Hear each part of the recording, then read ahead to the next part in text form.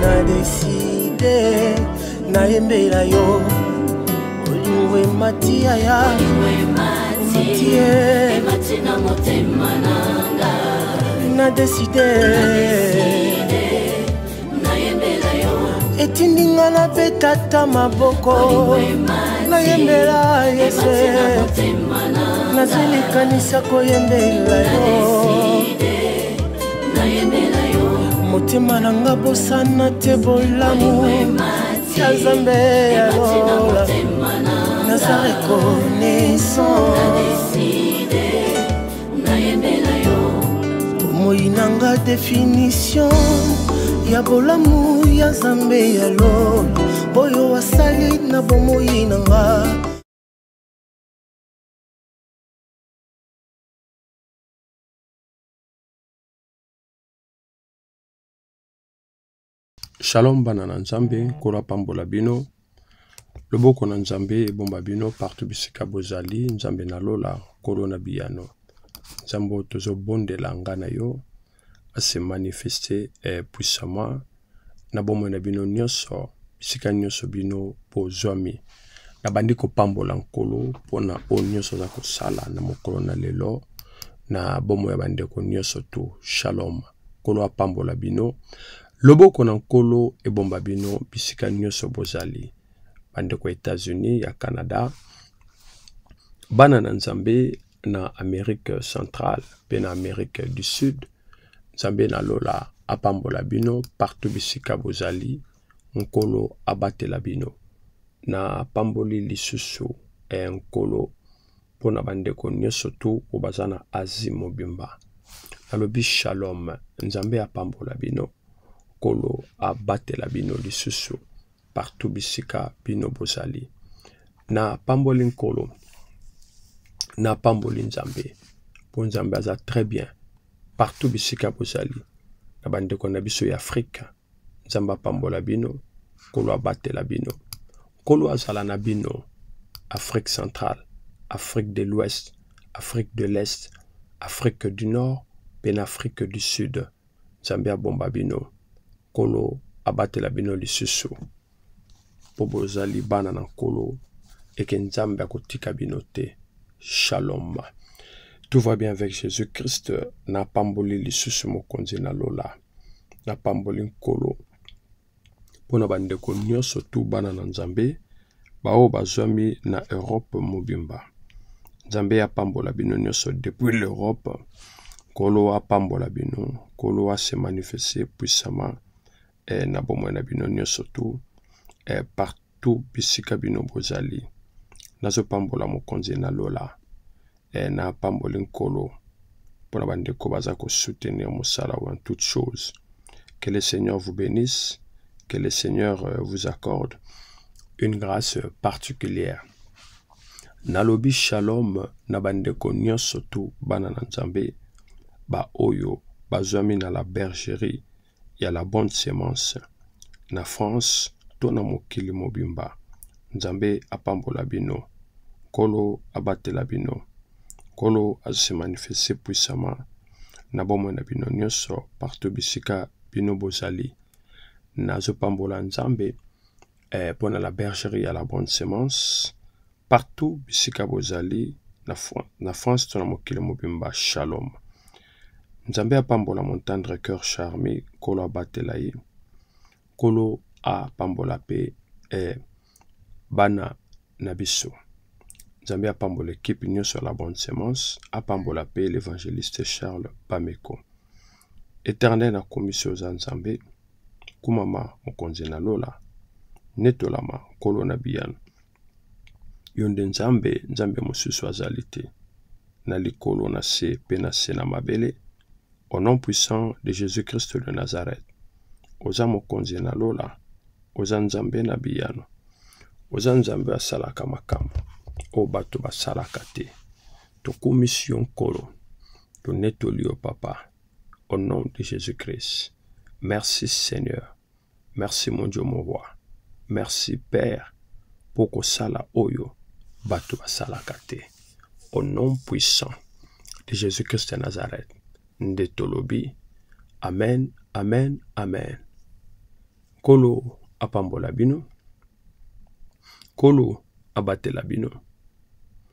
Nkolo ase manifeste puissamment na bomoi na bino nyonso. Tout va bien avec euh, Jésus-Christ. Tozotanga Bible, bien-aimé, toza na thème na biso oyo toujours tozali ko aborder.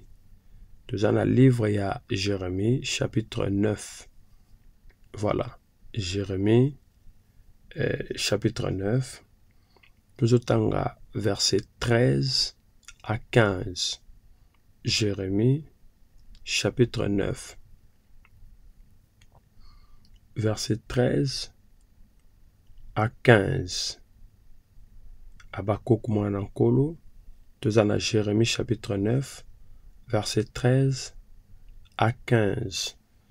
Malobananzambe et Lobinabiso, l'Éternel dit, c'est parce qu'ils ont abandonné ma loi que j'avais mise devant eux, parce qu'ils n'ont point écouté ma voix et qu'ils ne l'ont point suivi, parce qu'ils ont suivi les penchants de leur cœur. Voilà, parce qu'ils ont suivi les penchants de leur cœur et qu'ils sont allés après les balles comme leur père le leur ont appris. C'est pourquoi ainsi par l'Éternel des armées, les dieux d'Israël, Voici, je vais nourrir ce peuple d'absinthe et je le ferai boire des eaux empoisonnées. Nkolo apambola biso nyonso. Nkolo ase manifeste puissamment. Sika moto moko azali. Bandeko bana na Nzambe, shalom. Tout va bien avec Jésus-Christ. tozolobela likambo oyo etali qui a-t-il de commun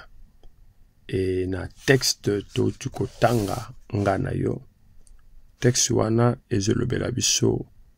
likambo moko ezali très important voilà na likambo ezali très important oyo test wana euti kolobela biso nalingi nabanda koexplike moke avant tosambela nzambe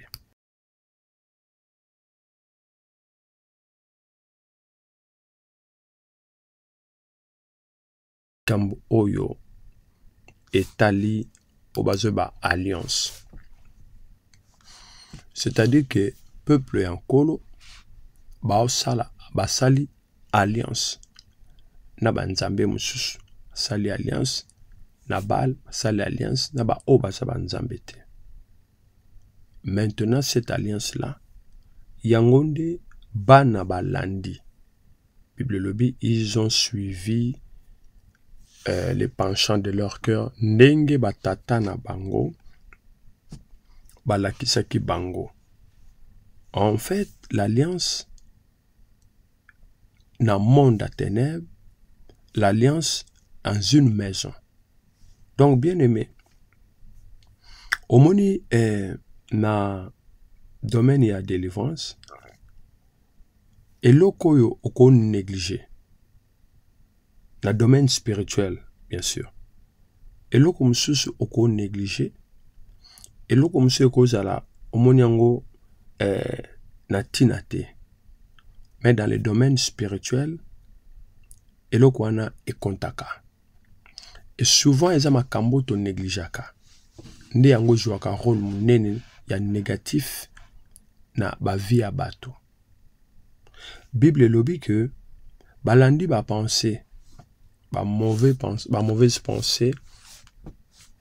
ya mitema na bango me nalingi otanga yango très bien ke na kolanda bamauvaise pense ndenge bible elobi bapenchant de leur cœur oyo bango balandi bake osalela bale bake osalela bale ndenge nini bapapa na bango batindi bango te c'est-à-dire que l'alliance bapapa na bango basalaki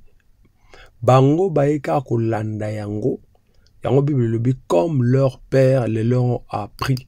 c'est-à-dire eza na makambo mosusu oyo koyoyela moto eza kaka koyela moto te ma eza makambo mosusu oyo moto akoki kopose parfois bien aimé dans le seigneur eh, parfois moto azalaki te voilà moto azalaki te mais bien aimé nake moto azali te mais puisque c'est une alliance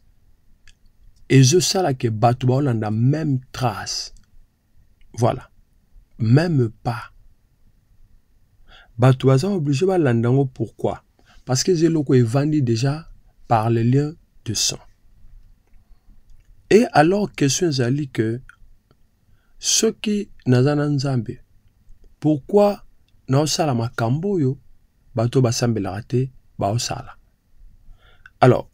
na, avant na continuer nalingi naloba boye ndako nyonso s'il vous plaît ndako nyonso oyo ezalaka na alliance na ennemi bato nyonso bavandaka wana bazali oyo baza lokola bazoloba baza livre na maboko ya ennemi wana Parce que faut pas oublier quelque chose. Na ndako nyonso to oyo misala ya mabe ezali. Ezalaka te ke to, to, to, to comprendre. Ndako ba, ya banganga, ndako ya bazebola, ndako bakenda koswanye bato, ndako ya bato ya misala mabe. C'est la couverture oyo eza na ndako wana nde ekomi kocouvrir bato baza wana. Deuxièmement, Cette couverture ekolinga ebanda ko protéger yo pona osalelaka ye. Voilà, po osalelaka ye. Nanga pesa exemple moko. Pona lakisa couverture spirituelle. Na ndako et comment cette alliance esala ke tozo se retrouver na biloko eza en commun na ennemi lelo soki toke na bible na bible je crois na, na exode 12 okomona likambo moko elekaki kuna l'esprit le de mort fallait kota na egypte ebanda kodétruire Mais Nzambe ayebisi Moïse ayebisi bango bozwa makila botya na bapoto na balento ntango esprit wana ekoya eleka likolo voilà ntango ekomona makila efrape te en d'autres termes makila wana c'était pas le sang ordinaire makila wana c'était la représentation de christ donc ntango eh, eswani ezoleka ntango ezomona ndako wana ezomona une protection et cette protection c'est christ de la même manière soki ndako ezali na misala ya mabe ndako wana ezali na se ya couverture ennemi tala bien aimé eza na bato basambela mpe bato basambelaka soki par exemple ennemi ainfiltre moto na ye na ndako moto avandaka avant boya koyeba ke moko kati na biso aza kobeba ennemi asasakajaki pourquoi parce que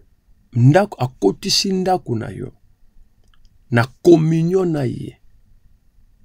voilà bien aimé et c'est ça ntango bato babimi na ndako moko o alliance eza établi na ndako elingi koloba ke bato wana batambola na longueur ya singa moko babengi nombril voilà bato wana baotambola na se parce que partout bisika bokokende le nombril va clignoter ekopresente eko ekoloba baoyo baza bana na biso baoyo baza ya biso etango balobake baoyo baza ya biso automatiquement directement bien aimé dans le seigneur on verra quoi l'alliance qui a été établie Omoni bien aimé. Or, comment on peut servir le, le, le Seigneur Jésus-Christ tout en ayant une alliance et qui me condamne On ne peut pas servir deux maîtres à la fois. Ye moko alobaki yango. Sikoyo, na kati wana, il y a beaucoup de choses. Je peux dire, navana na ndaku, oyo baza kosala baseke bazebola banini nini baza kosoigne bato na bokoko etali nga te ça c'est ce que l'on dit Mais Etalio,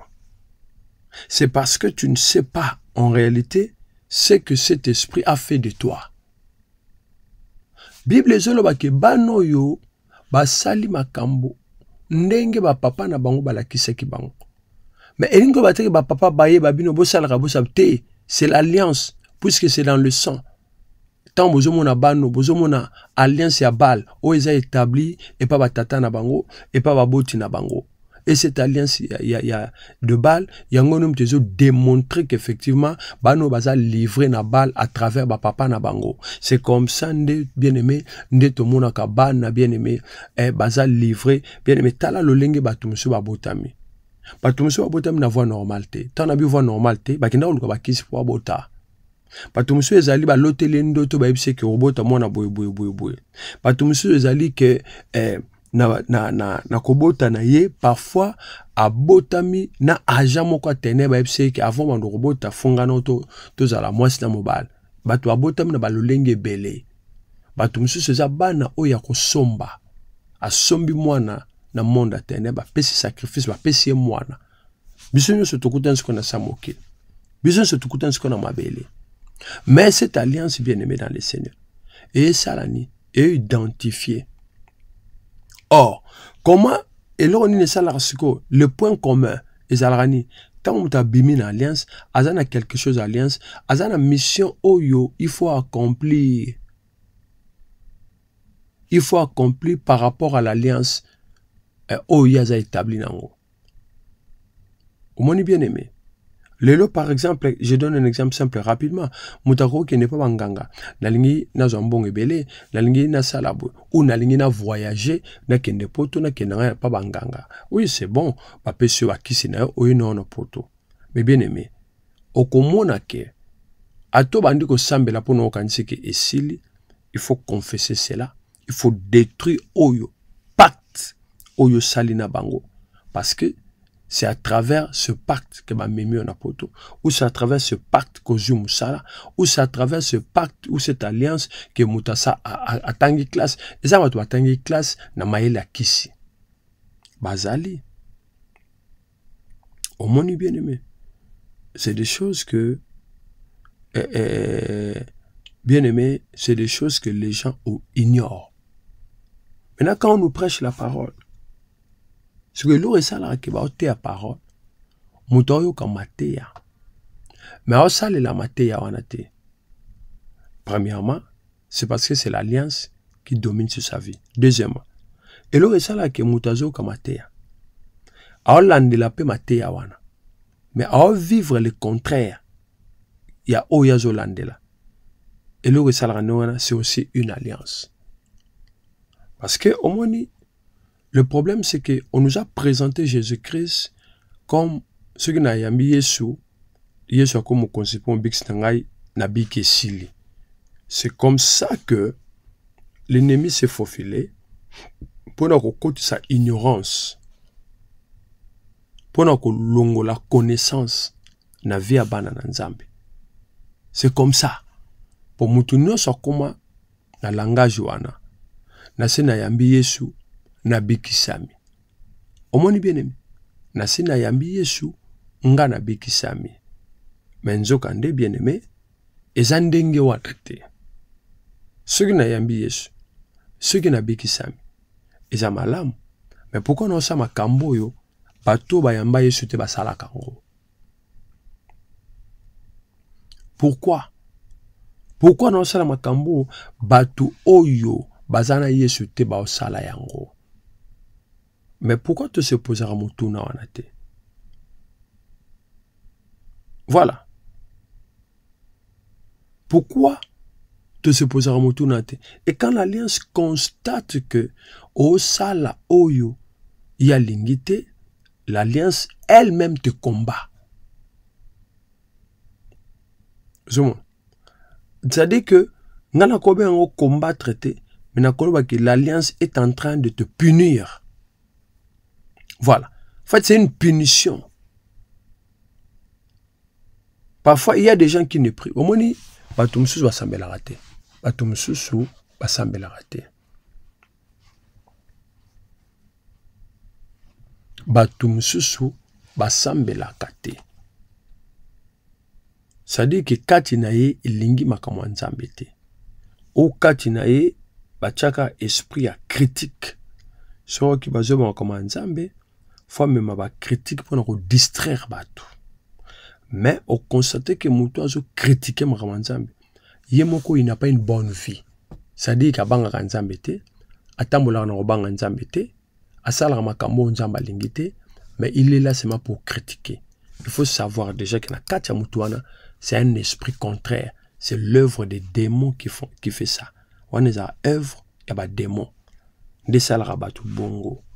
parce qu'il ne comprend absolument rien namoni makambo ya nzambe soki ozocomprendre eloko te okobanda oloba makambo okobanda kofinga okasi oza mayele en réalité oza no mayele te omoni oza mayele te c'est parce que tu ne comprends pas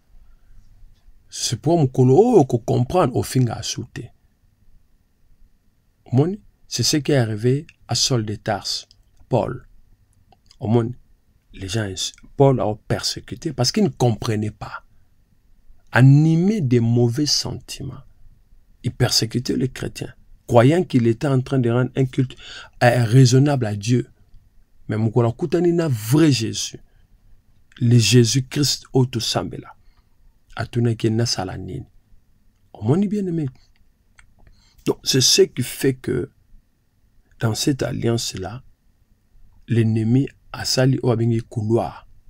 et le cordon ombilical est en train de nous représenter partout avant yo koma na esika le cordon ombilical le nombril ntango yo oniati c'est le nombril qui te représente avant yo koma mpo ntango okomi ntango bazoloba na yo oyo oh, nani baotuna te bakotuna te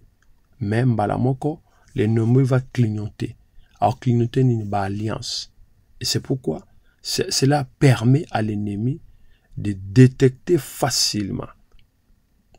yango omoni bien aimé e, eza kaka te que mpo moto asala moto mabe fo azala na famille na yo non C'est que l'alliance a déjà livré quelqu'un. Voilà. L'alliance a déjà livré quelqu'un. Nazaki un magicien moko, il était presque na fin ya ba ya ba ya, ya, ya, ya, ya, ya vie na ye ya contrat na ye na diable maintenant natuni ye nalobi na ye pourkui oza mawa mawa alobi na ngai eloko moko alobi kaka omoni ndenge nzambe obino bosambela aza malamu koleka maître na biso alobi na ngai naza mawa mawa parce que nazoluka bato ya kolekisa bato oyo natyaki na liste na famille mpo na kolekisa bango bango nyonso bakimi epa nzambe oyo ozosambela siko moyen nalekisa eza te napesi basacrifice ya banyama maître na ngai alobi naza na mposa banyama te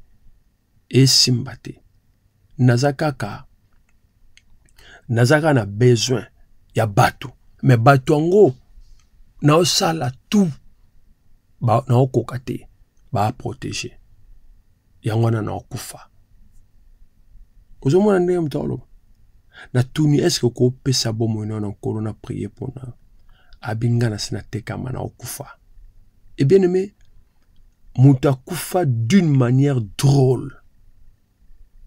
akufa omoni bien aime akufa d'une manière drôle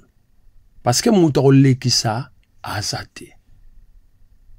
alors soki ye akufa d'une manière drôle parce que moto alekisa te c'est parce qu'il a su que bato oyo ngai nabotami na bango bato oyo nalinga nalekisa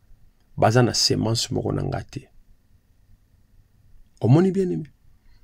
yango akoki te ya une barrière bato bakazaka délivrance esilaka te délivrance esilaka c'est-à-dire que oprie oprie mpe ozwi domination c'est fini c'est fini ozomona c'est fini donc tokomi parce que ya eza na étape moko oyo ntango tozosambela oyo déjà todepassa yango sans que tozwa soin na yango baolakisa biso si quelqu'un est en christ il est devenu nouvelle créature balobi si balobi te que tu es en christ balobi si on suppose que ntango oza na christ okomi moto ya sika alors makambo ya kala fo eleka nyonso efo koma ya sika makambo ya kala eza nini c'est des alliances c'est des condamnations eleki ndenge nini eleki ntango eza lisu na bokonzi likolo na yo te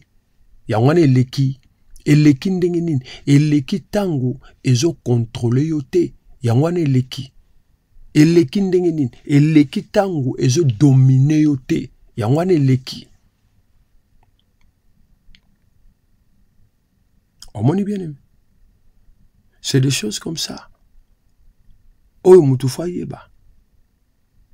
alors qu'est-ce qui peut arriver à quelqu'un ozosambela me balei na basorcier on, on va dire quoi tolobake jésus aza puissant te non non parce que la plupart bato mingi mpe baya kosambela nzambe baza na volonté na bolingo ezali mais il y a des esprits de famille oyo eza nano kodomine kati na maba bayeba te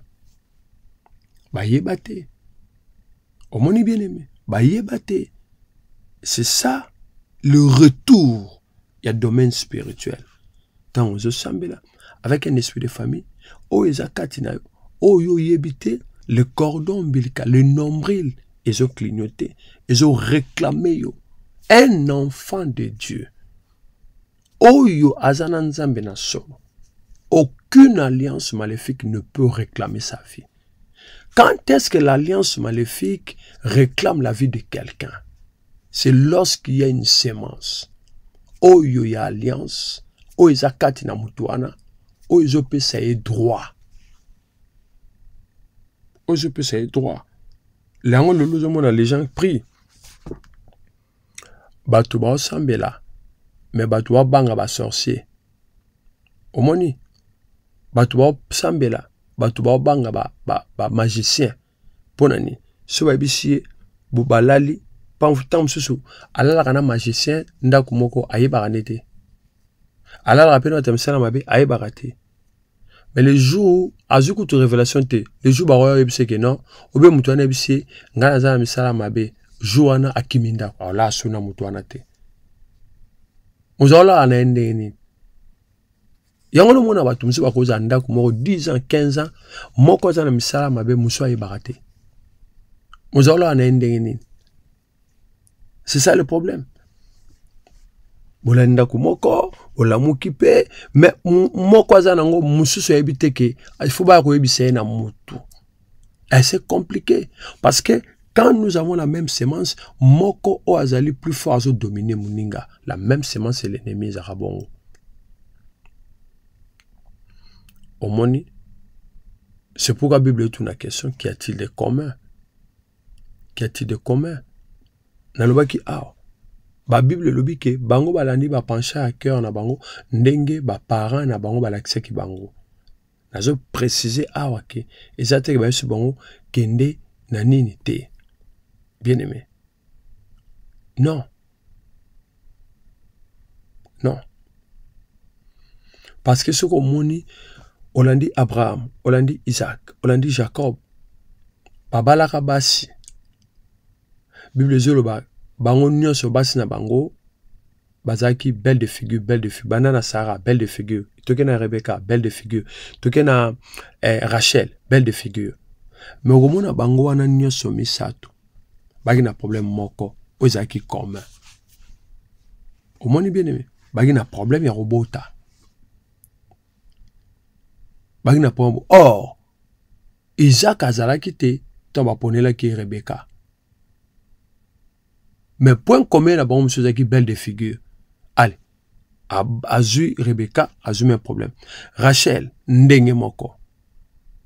omona meme na bible bien aimé na le seigneur biloko mosusu eza ke soki otali meme soki obandi na abraham okiti na linie okomona abraham akosa ntango akosa isak na abotami te Isaac mpe aye kokosa ke Rebeka eh, ndeko na ngai mwasi. Omoni Jacob bana na ye Jacob ntango abotami akosi papa na ye alobi na papa na ye ke ngai nde ezao omoni omoni Jacob ayebisaki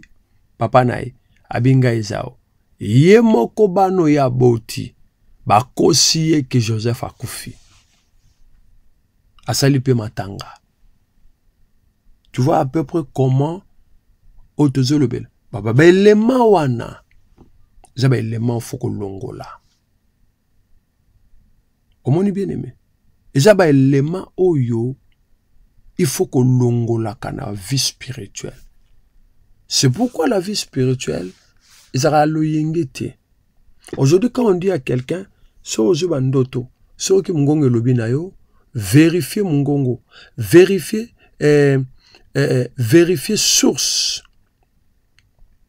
Source ya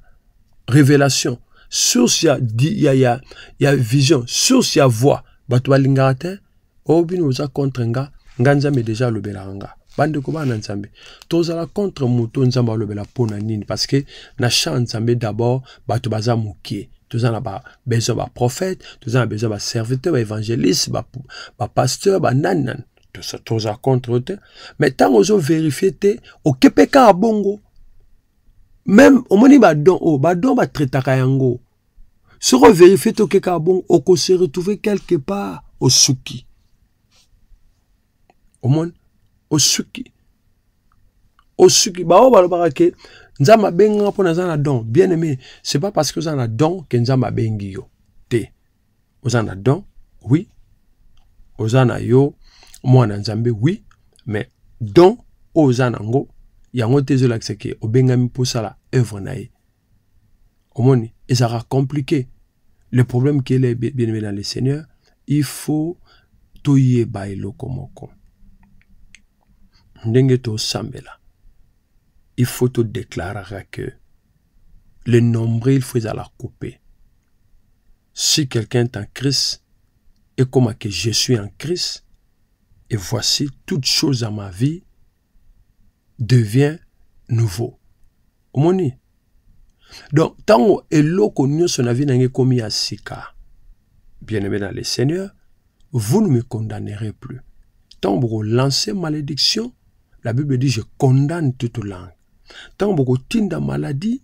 la bible dit l'envoûtement ne peut rien me faire ni l'enchantement, ni la divination. Tant que nous lukanga na monde na bino ténèbres, bo invoquer âme nangai, mon âme ne répondra pas. Car la Bible dit que je connais mes brebis et mes brebis entendent ma voix. Au monde bien aimé. Donc, bien aimé, na katuana, nde tozolu banaba na nzambe, musalo foko sala. Pourquoi batumsu balinka bakosaka bango na identité bango bazana ngote? nzambe akopambola yo nzambe oza boye yo mpenza mm -mm, namoni boye bien aime eza mabe te eza malamu me ezwa place ezwa place vie chrétienne eza vie ya bagoigoi te bandeko vie chrétienne ezalaka vie ya sacrifice le nombril n'est pas coupé olingi osala nini il faut moto amona ndenge nini okobota mwana awa na poto me mwana azo ressemble na motu moko oyo aviva meme pas na kinshasa me aviva na village tout nde nini okobota mwana a na poto automatiquement mwana akomi héritier ya grand père na ye oyo bamonana te pourquoi les gens ne se posent pas de questions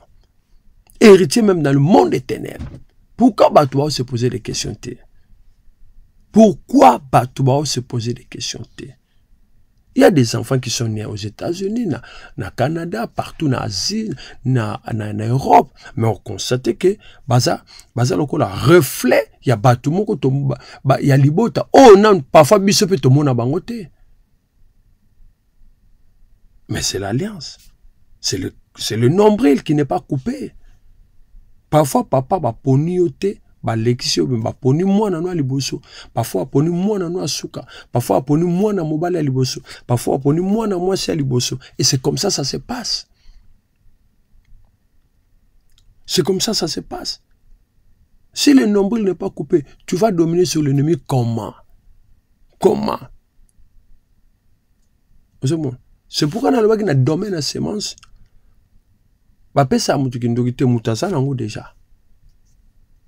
oyo nyonso bakosala ye eza kaka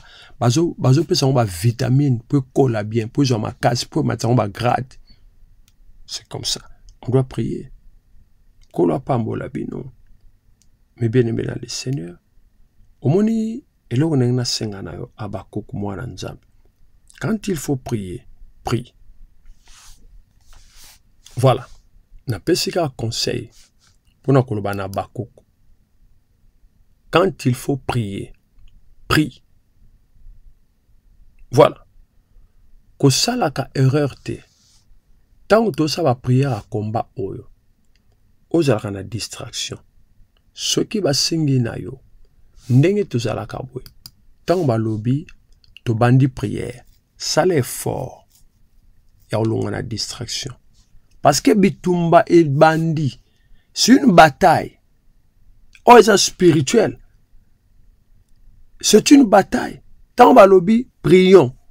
Et, mais tant tu t'en la distraction, tu sais pas ce que l'ennemi peut te faire. La prière, c'est la concentration. Il faut être concentré. Il faut prier. Et en priant comme ça, tu peux avoir des révélations sur le champ.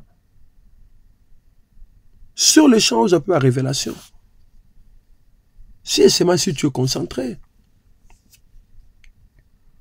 nalingi osambela nzambe nalingi osenga na nzambe bien aimé nzambe akutana na baoyo nyonso bien aimé bazali ba ayant droit ya cordon ya nombril ya baalliance ya famille ce qui réclame biso na bango relation eza te c'est cette parole là oyo tokolanda yango na prière Que le Seigneur vous bénisse. Nzamba accorde sagesse, intelligence. Nzamba tika yo te. Nzamba longola yo molimo ya paresse na prière. Nzamba pesa yo comme la Bible dit le Saint-Esprit, c'est l'esprit de force. Nous n'avons pas reçu l'esprit de servitude. mais l'esprit de force. D'autant to sambela. Il faut tout sambela na lulenge to longwa na distraction. Voilà. To longwa na distraction. To bandi ko bondela nkolo. To commission nkolo. To netoli yo papa. Oza nzambe na nguya. lobongwanaka te. Kumama na yo Nkolo. Netolama na yo Papa. Au nom de Jésus-Christ. nazobondela na mokolo na lelo yo nde nzambe na nguya yobongwanaka te na nkombo na yesu e kumama na yo mokonzi netolama na nkolo na nkombo na yesu tozobondela nzambe tozobondela mokonzi lelo tobondeli tosengi nkolo merci ndeko moko asambela aloba na nzambe merci na oyo nyonso asali na kati na ndako na ye senga nzambe merci na oyo nyonso azosala mpo na bomoi na yo ya mwasi oyo ya yo mpe ya bano ya biso au nom de jésus christ merci mokonzi na lola mpo na bomoi ya mwasi ya ngai mpe ya bano ya biso au nom de jésus christ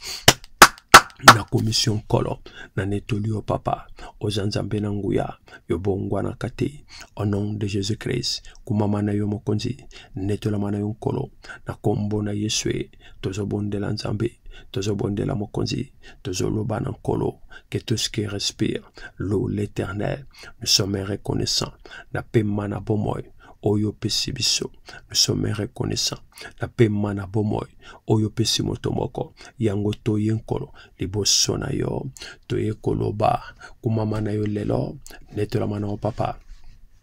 au nom de jésus christ tozobondela nkolo tozobondela mokonzi oza nzambe na nguya yobongwanaka te na nkombo na yesu e, mata na priere loba na nzambe na lola mawa na yo ekita na ndako ya moto moko mokonzi na lola kumama mokonzi na lola netola yo nde nzambe na nguya yo bongwanaka te au nom de jésus christ naye kolela mawa mawa na nkolo ekita na mama tozobondela senga mawa na nkolo esika nyonso yo ozali senga mawa na nzambe au nom de jésus christ nazolela mawa mawa na nkolo ekita na mokolo na lelo maloba na nzambe elobi celui qui cache bien aimé Ces transgressions ne prospèrent point, mais celui qui les avoue et les abandonne obtient miséricorde. Yango zobondela nkolo, yango zobondela nzambe. Au nom puissant de Jésus, nazolela mawa na kati na ndako ya ngai.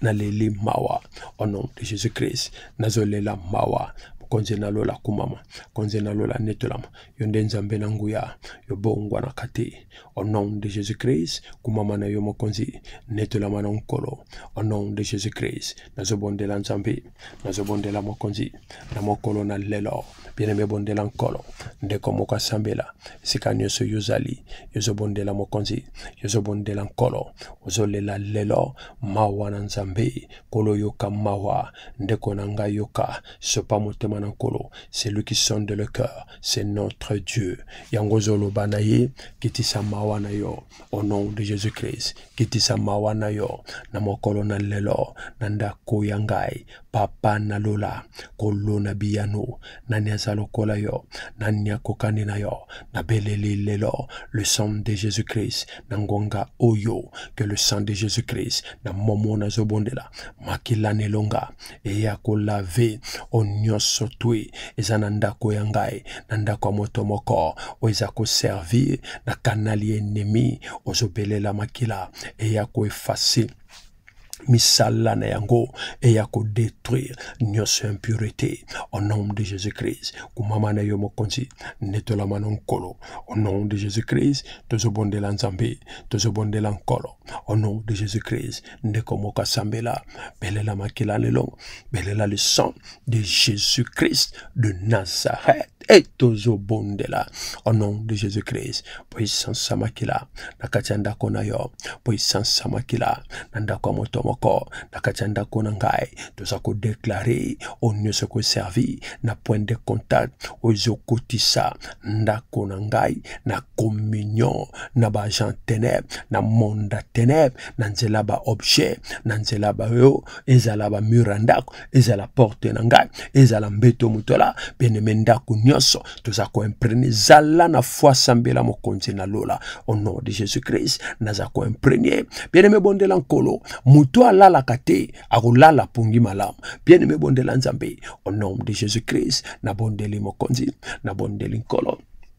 na kati ya ndako na ngai nazobelela lelo puissance ya makila au nom de jésus christ eya kolave eya kodétruire tout ce qui peut servir na point de contact ennemi na ndako ya ngai oyo nyonso ozwi repondre na mongongo ya ennemi na ndako ya ngai na ndako ya yo tozobelela makila au nom de jésus christ tozobelela lelo que le sang de jésus christ eya koneutralise eya koparalyse eya korenverse au nom puissant de jésus oza nzambe na nguya yo bongwanaka te kumama na yo mokonzi netolama na nkolo na nkombo na yesu e tozobondela mokonzi tozobondela nkolo ndeko moko asambela bien aime bondela nzambe bondela mokonzi na lola qui est comme toi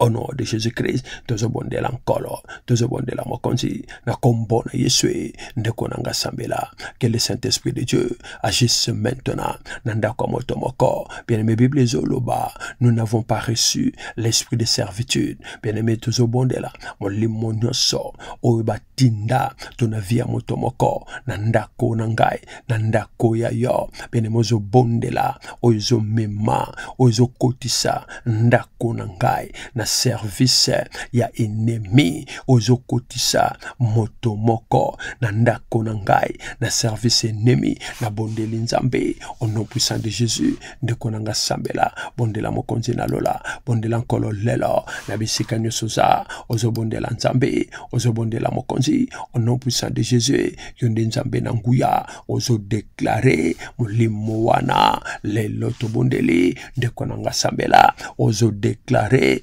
molimo wana lelo tobondeli au nom de jésus christ oza nzambe na nguya yo bongwanaka te mama na yo mokonzi netolama na nkolo esprit de dieu manifeste toi na losambo na lelo esprit de dieu revele moto moko lelo na losambo na lelo yango tozobondela tozosoumettre esprit contraire na obeissance ya christ na ndako ya moto moko esprit nyonso oyo eyaka kovisite moto moko na kati ya ndako na ngai au nom puissant de jésus christ de nazareth contacte wana communion wana eza neutralise bien aime bondela nkolo bondela mokonzi na lola tozotelemela baesprit eyaka kovizite moto moko na butwe na moma moko na ndako na ye ozoloba na nkolo au nom de jésus christ au nom de jésus christ au nom de jésus christ e connexion wana ekatani na nkombo na yesu nabondeli bokonzi nabondeli nkolo nom de jésus christ nakomisi yo papa na netoli yo nkolo oza nzambe na nguya bieneme bondela nkolo esprit oyo tozobondela na mokolo na lelo bieneme banda kobondela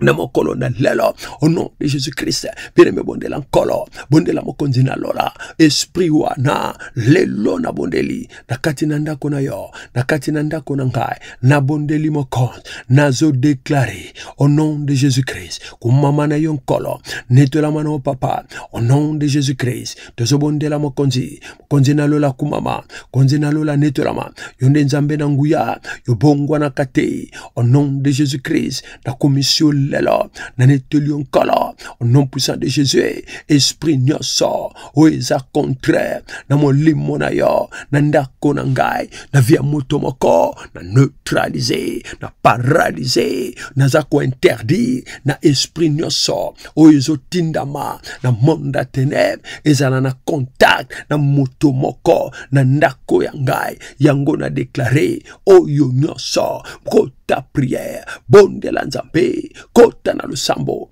bondela mokonzi au nom de jésus christ oyo nyonso eza na commun oyo nyonso ezokotisa mwano ya ngai mwaso ya ngai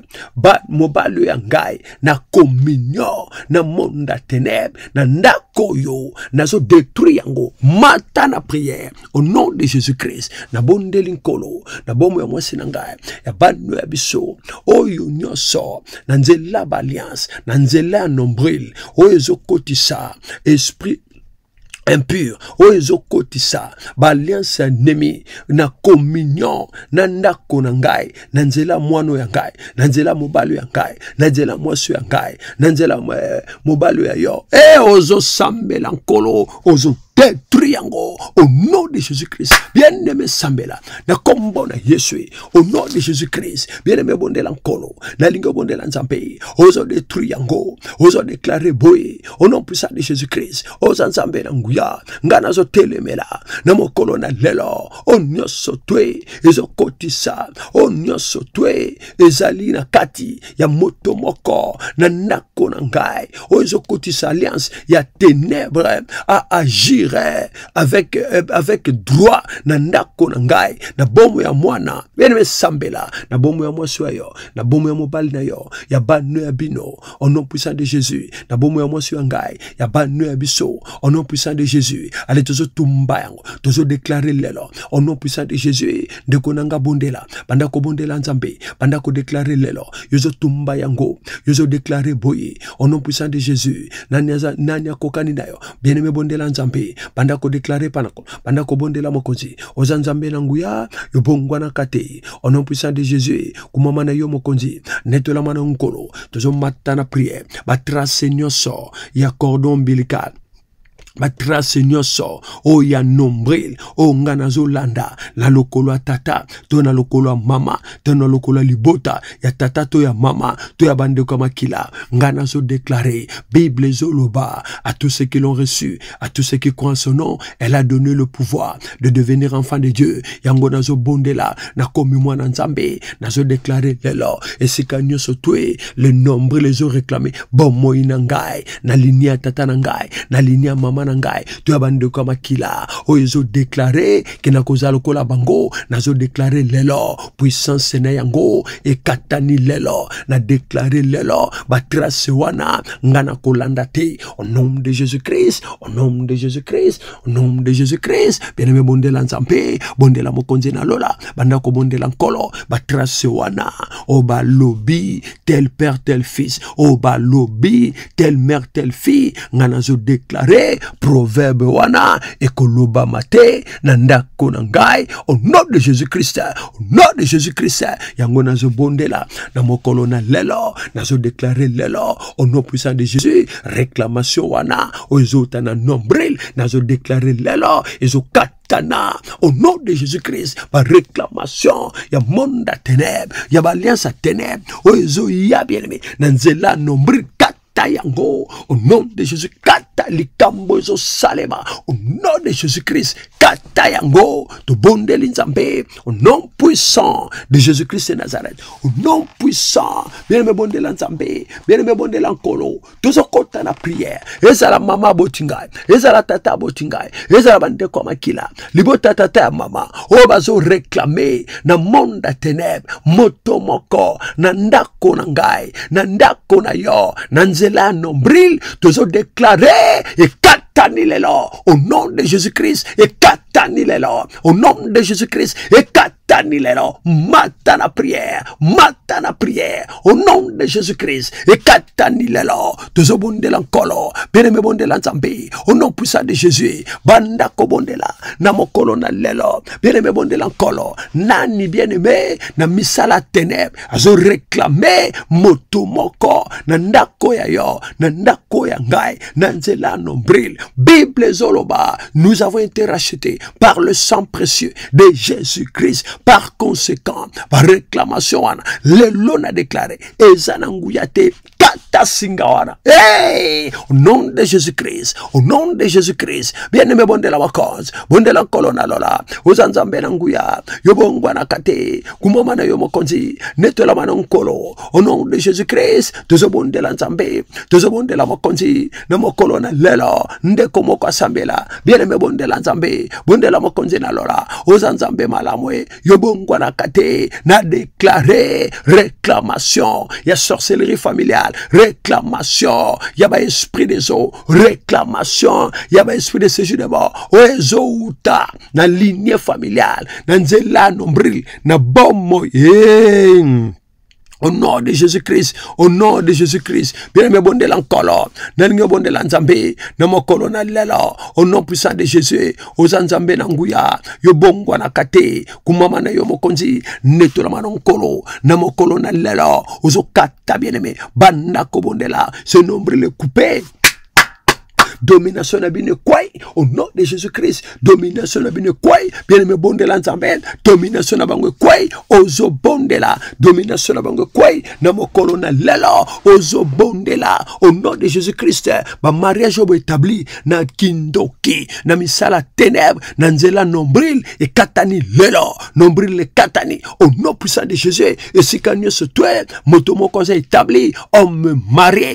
femme marie na monde ya tenebre nombril wana lelo nguya na yango ekatani motolu ekatani na deklare au nom puissant de jésus-christ bakolonga te nzambe na nguya kolona biyano nazobondela nzambe nazobondela mokonzi au nom puissant de jésus kumama na yo mokonzi netolama na yo nkolo na kombo na yesu e tozobondela mokonzi tozobondela nkolo esika nyonso yo ozali ozodeklare boye reclamation lelo lelo ya mabala tenebre na bomo ya moto ekatani lelo esika nyonso balivra moto na nzela motolu todeklare au nom puissant de jésus-christ de nazareth au nom puissant de jésus-christ de nazareth au nom puissant de jésus-christ de nazareth au nom puissant tozobriser tozodeklare la victoire toi, au nom de Jésus-Christ, les colonnes à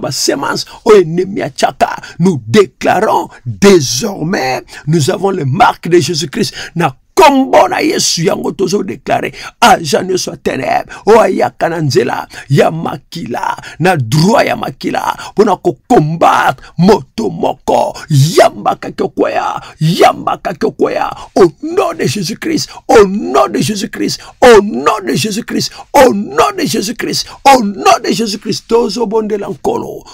kumbama na yo mokonzi netolama na nkolo au nom puissant de jésus christ de nazareth oza nzambe na nguya yo bongwanaka te na komisio nkolo na netoli yo papa au nom de jésus christ bien-aime ozobondela ndeko moko asambela lelo tobondeli lelo todeklare aja nyonso ya tenebre oyo alandaka moto moko na ndako ya yo e tout agent de tenebre bien-aime ozobondela bien-aime bible elobi otele méchant otele méchant ndeko na nga sambela na kombo na yesu oyo azolanda moto moko na ndako ya yo na ndako ya ngai yambakaki okwea yambakaki okwea yambakaki okwea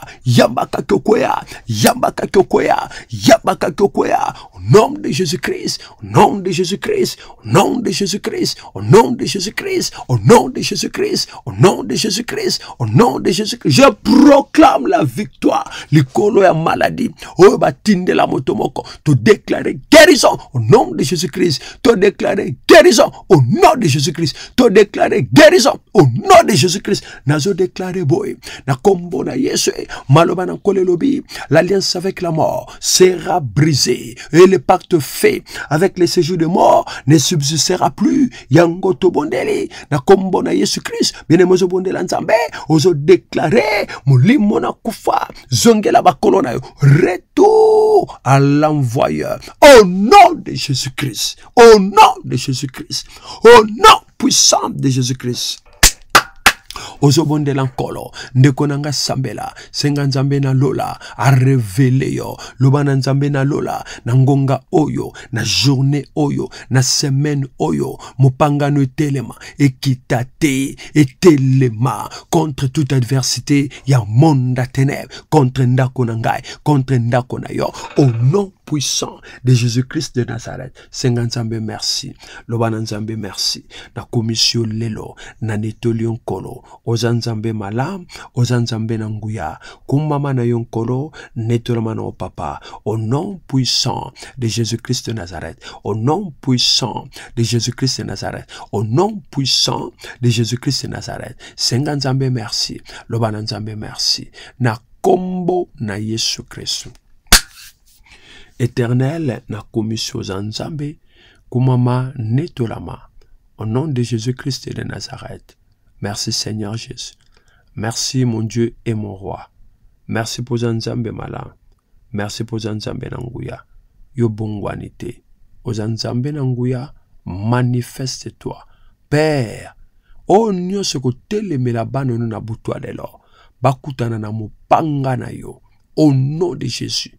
que ton épée les frappe sans relâche. Au nom de Jésus-Christ de Nazareth. Papa,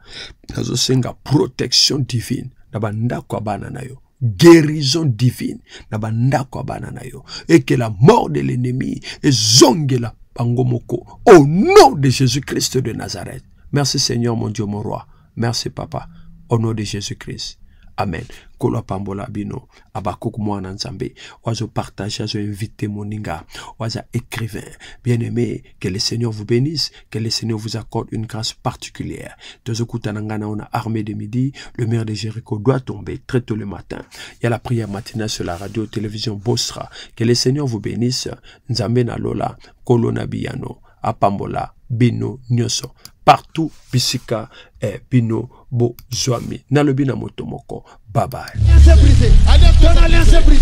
église la bonne semence paris et charles bameko ministry organise la bataille de Gabaon.